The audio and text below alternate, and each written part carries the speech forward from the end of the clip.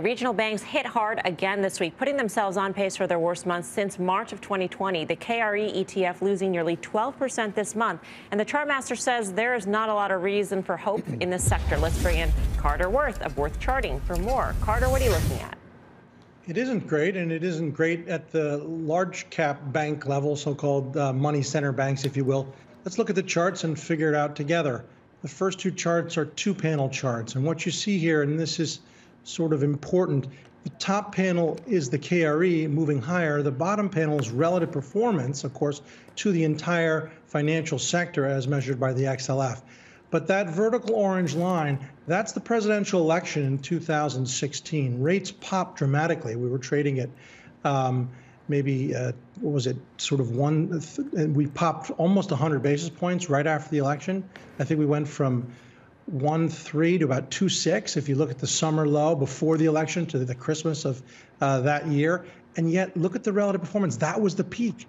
Regional banks got their lift, and they've been underperforming their sector ever since. Look at the next chart. We'll put some lines in. They're arrows just to annotate it even more. So you get that relative outperformance. You get an absolute pop, even though regional banks keep going higher they start faltering relative to other choices within the sector. So uh, take a look at a chart of uh, KRE itself. If that's not a topping out formation, then um, I don't know if they one exists. You have a break in trend. You have a well-defined formation. Doesn't matter whether you call it a head and shoulders. And then um, finally, if you want, let's look at a comparative chart, not relative. But this is the real story of financials. Those bottom two laggards there, you see what they are. That's the BKX, money center, big banks, and KRE. Leading the way, of course, is S&P. Uh, this has just not been a good area.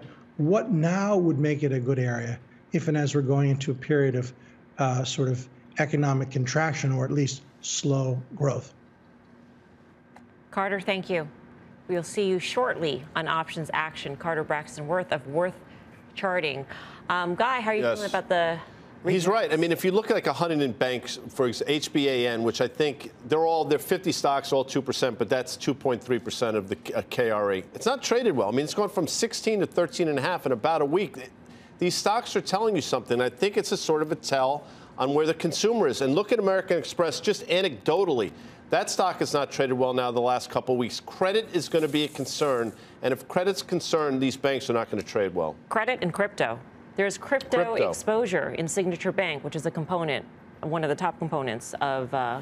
Yeah, so that's weighing down that index right there. But let's just look at the Bank of America. We talked about this a couple weeks ago when uh, Moynihan, the CEO of Bank of America, was at that Goldman conference, and he seemed to change his tune a little bit, right? Remember, he and uh, Jamie Dimon of J.P. Morgan had kind of differing views of the economic climate back mid-year or so, and that stock has dropped 17% in a straight line since he spoke at that conference. And again, I just go back to what Guy just said. When you look at some of these names that are very exposed to lending and just the consumer in general, their underperformance right now at this point in the year is really troubling not allocating new capital to, to regional banks uh, and, and, not even money center banks. I just think we've seen this in the market cycles and the phases where uh, banks were, were certainly sold first, questions later in terms of credit exposure. I think we've realized that right now the credit concerns, at least for, for the market at this stage, are not where we think they are. I think as we get into next year and we really see the slowdown in growth that we're all anticipating and some of these downgrades and revisions, I think you're going to start having this conversation with banks again. I don't think you need to chase them. I think the money center banks are a very different place. I think the balance sheets and even across the regionals like Citizens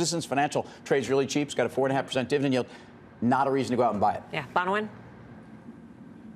Yeah, Capital One Financial is probably the one I'd stay away from the most here. I just think that these banks don't have the same levers that some of the larger uh, asset managers or, or money city banks have, right? You're not getting that same fee structure. Even if deals are kind of drying up, you're not getting that fee structure. Really, what you're kind of subject to is the consumer lending uh, and, and, credit environment. And, and, as we've all said, we kind of see that kind of taking a bit of a nosedive going into 2023. So that's likely why you see the weakness there. They simply don't have the upside that the other money centers have.